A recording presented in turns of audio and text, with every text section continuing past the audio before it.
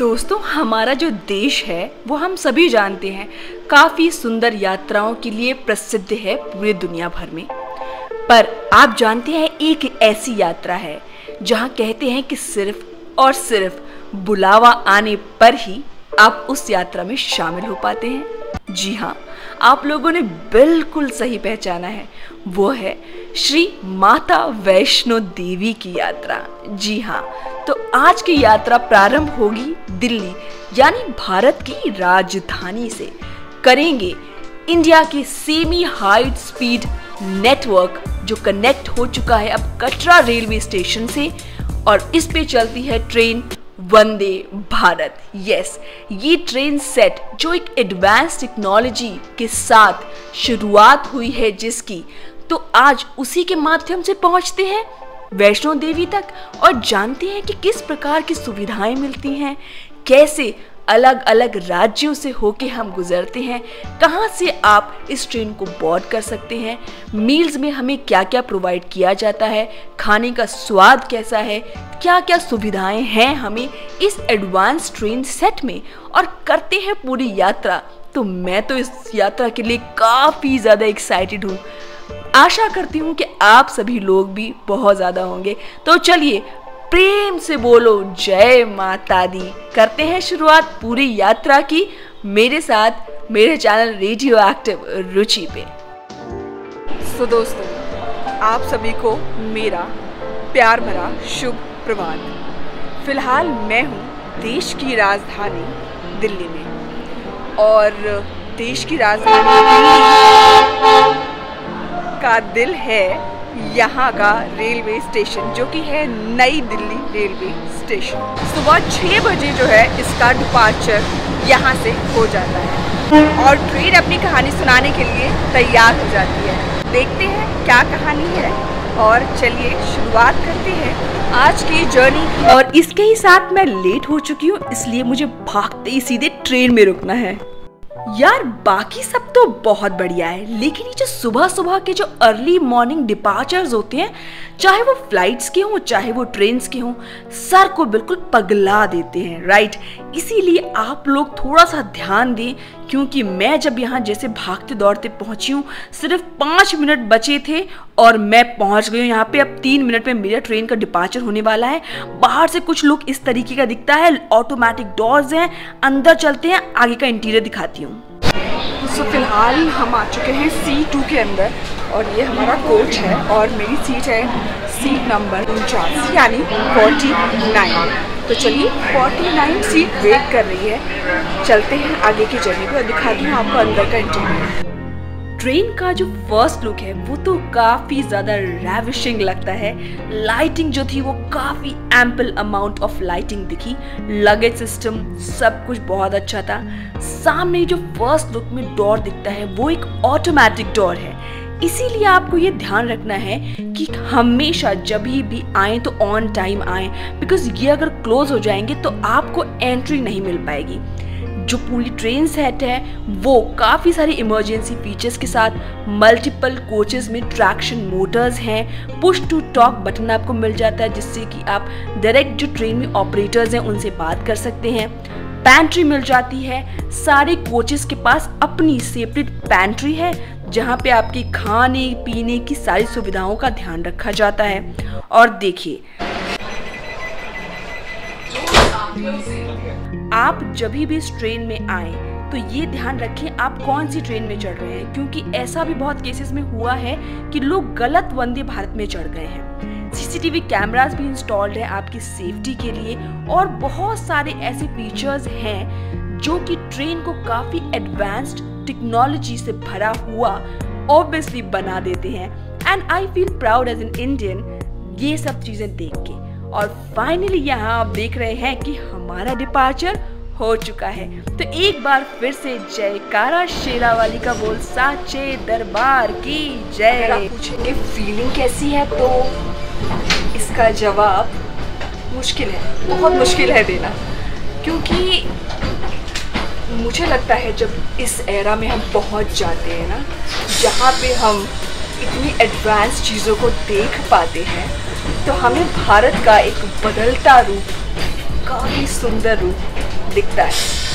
तो जब यहाँ पे आई हूँ ना तो एक भारतीय होने में बहुत ही गौरवान्वित होती हूँ बहुत से लोग ना कंपेयर करते हैं चीज़ों को कि वहाँ ऐसा है और यहाँ पे ऐसा नहीं है। तो मुझे नहीं लगता।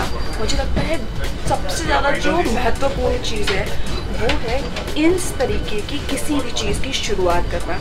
तो हम लोग ने अभी तो शुरुआत करी है।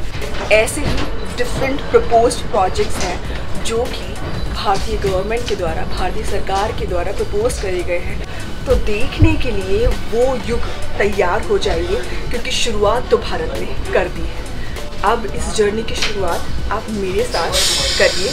देखिए कि आखिर हम माता वैष्णो देवी कटरा तक किस प्रकार पहुँचेंगे और किस प्रकार के नज़ारे देखते हुए हम अपने दिल को संतुष्टि पहुँचाएँगे। तो प्रेम से बोलो, जय माता let's start journey so guys चलिए अंदर चलते हैं और आपको दिखाती हूँ सीट पे एक्चुअली क्या क्या चीज़ें प्रोवाइड करी गई हैं। ये चेयर कार है, जिसके लिए आपको लगभग सोलह सौ रुपये पे करने पड़ सकते हैं। सामने ही आपको दिखती है एक ट्रे टेबल रेस्ट और बॉटल होल्डर्स नीचे ही अगर आप देखेंगे आपकी सीट के तो आपको चार्जिंग पॉइंट्स भी दिख जाएँगे, जिससे कि आप अपना फ़ोन लैपटॉप सब कुछ चार्ज कर सकते हैं। श्री माता वैष्णो देवी कटरा। स्टेशन से चढ़ने वाले सभी यात्रियों का स्वागत करती है। सबसे पहले आए हुए मेहमान से हम पानी ही तो पूछते हैं। तो चलिए, यहाँ पे हमें मिल जाती है एक लीटर की बोतल और साथ ही में मिल जाता है हमें टी का सेट। और देखिए जरा, इधर जरा देखिए, सुबह के वो नज़ारे जहाँ पे सूरज खटखटा रहा है कि अरे उठ जाइए, क्योंकि आज आप वैष्णो देवी की यात्रा पे हैं। दिल्ली जैसे सराबोर हो चुका है धुंध में। सर्दी जो थी वो कड़कड़ाके की थोड़ी सी पड़ रही थी और हमें तो भाई बहुत मज़ा आ रहा था। सामान को बिल्कुल ऊपर रख दिया गया था और अभी देखिए, कुछ ही देर में हमें सर्व होगी चाय। जी हाँ सुबह सुबह के इस तरीके के नज़ारों को देखते हुए जहाँ हम सोनीपत के पास पहुँचने वाले हैं और स्पीड जो है वो ज़रा देखिए। 130 वैसे तो ये ट्रेन 180 की रफ्तार तक चल सकती है। बट फ़िलहाल, क्योंकि ट्रैक्स अभी उतने कंपैटिबल नहीं हैं, इसलिए फ़िलहाल जो स्पीड है वो 130 की स्पीड के आसपास जो हमारी ट्रेन है, वो चलती है।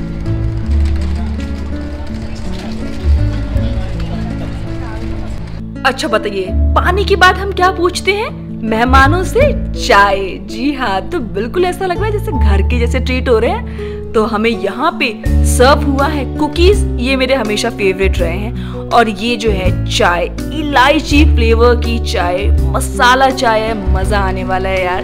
बिकॉज़ आपको ये पाउचेस मिल जाते हैं, चाय को करते हैं प्रिपेयर और पीते हैं सुबह की गर्मा गर्म वंदे भारत की चाय। जी हाँ ये स्पेशल चाय है। क्योंकि इसमें मुझे लगता है कि माता का थोड़ा सा आशीर्वाद है कि हमें इस ट्रेन में सफ़र करने का मौका मिल रहा है और ये सारी सुविधाएँ इंजॉय कर रहे हैं। तो चलिए, साथ में इंजॉय करते हुए आगे बढ़ते हैं।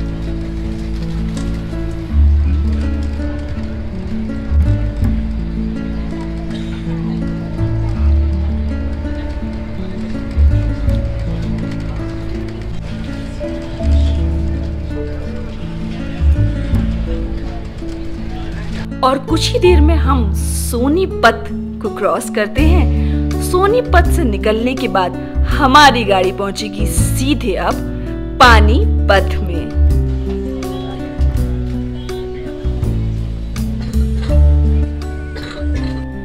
पानीपत का नाम सुनते ही क्या आपके दिमाग में वही आया जो मेरे दिमाग में आया? चलिए मैच कर लेते हैं।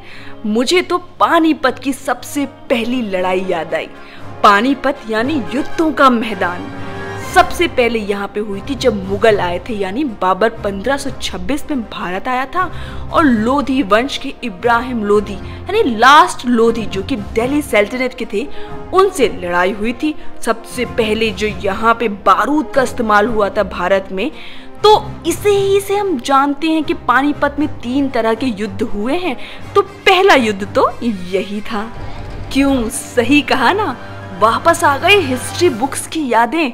कभी कभी बहुत डर लगता था हिस्ट्री से। आपको भी लगता था तो ज़रूर बताइएगा, लेकिन आज उतना ही प्यार है मुझे। ज़रा सामने के अद्भुत नज़ारे को तो देखिए। सूरज की लालिमा क्या साथ दे रही है लहलहाते खेतों का। नज़ारा थोड़ा सा कुछ ट्रेन में बैठ के अद्भुत सा ही नज़र आता है। ऐसा लग रहा है कि तन बदन में जैसे एक अलग सी बिजली कौंध गई हो। जब माता का नाम लेते हैं और ऐसे नज़ारों का सामना होता है।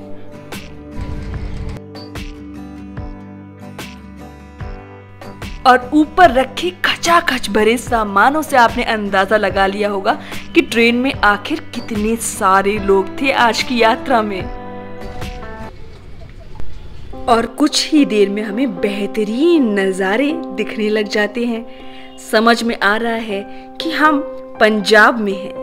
और पंजाब में हो अगर, हरा रंग आपको चारों तरफ़ ना दिखाई दे, ऐसा हो सकता है। लहलहाते खेत चारों तरफ़ जैसे अपना आशियाना बना के बैठे हों। ट्रेन्स जो हैं छोटे छोटे रेलवे स्टेशन से निकलती चली जाती है। एक के बाद एक एक के बाद एक एक के बाद एक। कभी कभी लगता है कि यहाँ उतर के देखूँ कि आसपास कौन लोग रहते हैं, क्या करते हैं। छोटे छोटे फार्मर्स वगैरह जो उनसे जाके मिलूं, उनकी कहानी जानूं। बहुत अच्छा लगता है। इन सारे नज़ारों को पंजाब में देखते हुए। का थोड़ा ध्यान दिया गया और हमें सर्व हुई the second meal of the day जी हाँ सुबह हमने चाय और कुकीज मिली थी। अब मिले हमें सैंडविच छोले, कुलचे। साथ में मिल जाता है हमें दही और देखिए वेज कटलेट भी प्रोवाइड किया गया है और ऑर्डिनरी जो केक्स होते हैं, आपने देखा होगा, साथ में एक सैनिटाइजर ऑफ़ कोर्स और देखिए, अब समय है कि मैं ज़रा ये गर्मा गर्म टेस्टी से कुलचे आपको टेस्ट भी करके बताऊँ कि आखिर इन सब का टेस्ट कैसा है. फाइनली मील तो एक्चुअली बहुत सुंदर लग रही थी देख के. तो चलिए टेस्ट भी कर लेते हैं.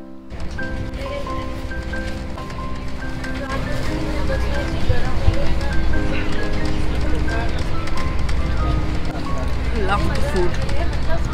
बहुत अच्छा बहुत अच्छा यार, जो हमें साथ में वेज कटलेट जो दिया गया था, उसकी प्रेजेंटेशन मुझे काफ़ी अच्छी लगी क्योंकि ऊपर से कुरकुरे, अंदर से सॉफ्ट लग रहे थे बिल्कुल। एंड स्टफिंग भी अंदर काफ़ी ज़्यादा लाजवाब लग रही थी।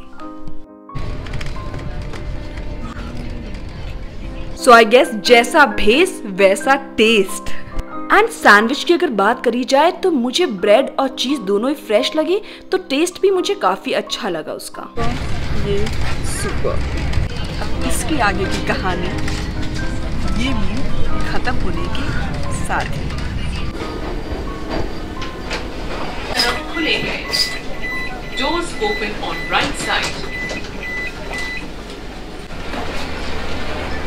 सो so फाइनली हम लोग पहुँच चुके हैं अम्बाला कैंट और दो मिनट के स्टॉपेज के लिए सिर्फ़ हम जंप करके उतर ही सकते हैं और ये है अम्बाला कैंट। मैं यहाँ ज़्यादा नहीं रुकूँगी दो मिनट के स्टॉपेज है सो लेट्स गो इन इससे पहले कि दरवाजे बंद हो जाए, समझे? वो हम बिल्कुल भी नहीं चाहते हैं बिकॉज़ वरना मुझे यहीं रहना पड़ेगा।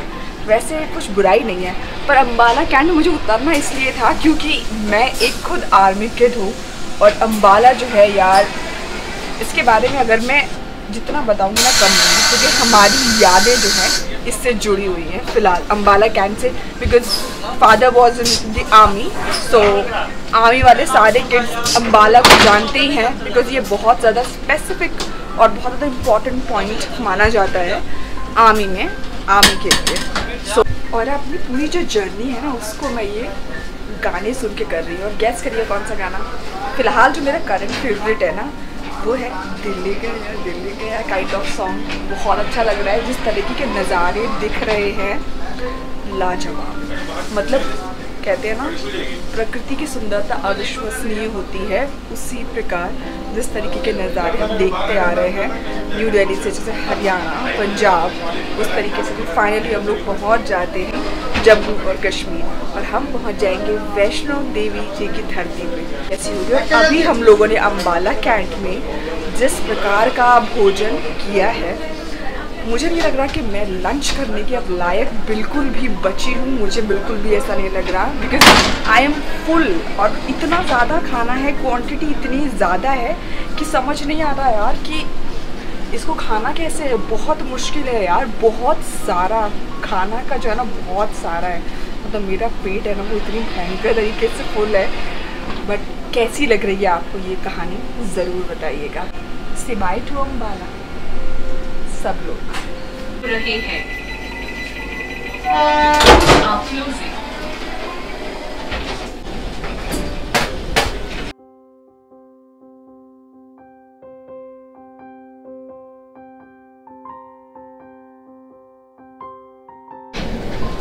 Look at this, the most powerful locomotive of India, of the world exactly. It's WAG 12.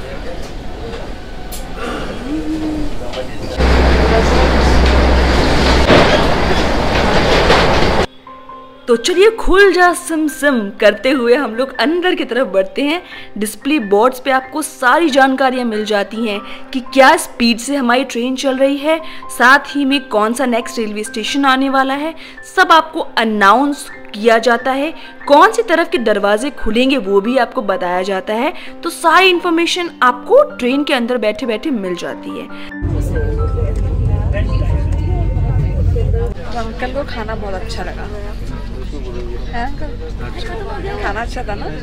और कितना ज़्यादा था क्वांटिटी बहुत ज़्यादा थी। पेट भर चुका है। वैसे लग रहा है कि कैसे खाएँगे? नाश्ता वाश्ता। और अंकल जा रहे हैं जम्मू। और अंकल सीआरपीएफ में है ऑलरेडी तो अंकल भी रेलवे के एम्प्लॉय हैं। और अभी भी अंकल झारखंड में पोस्टेड है। झारखंड ना?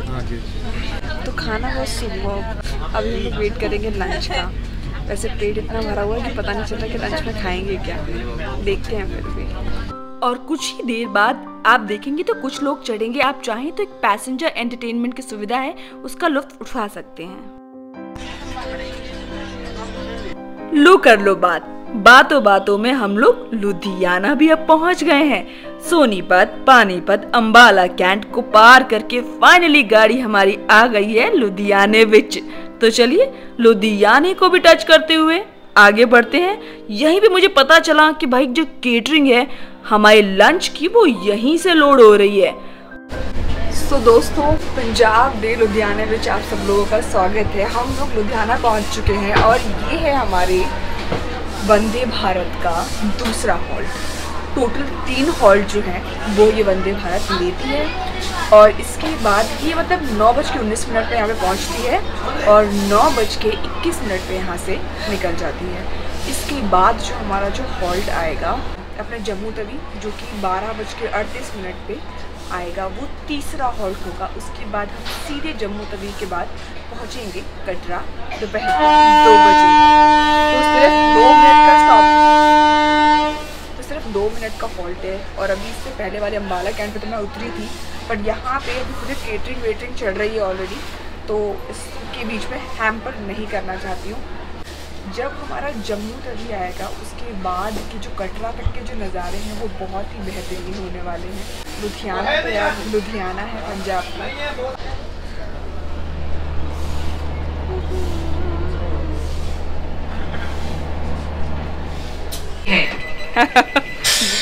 मिस ही कर जाते भैया।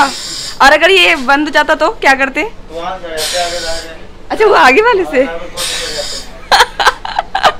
सभी बच गए। और बस दरवाजे यहाँ के बंद हो चुके हैं। सामने खड़ी है धनबाद फिरोजपुर। और यहाँ से हमारा डिपार्चर लुधियाना से हो चुका है जम्मू तवी के लिए। अब यहाँ से तो मुझे आपको ऐसे ही दिखाना पड़ेगा क्योंकि हमारी ट्रेन हो जाती है बंद।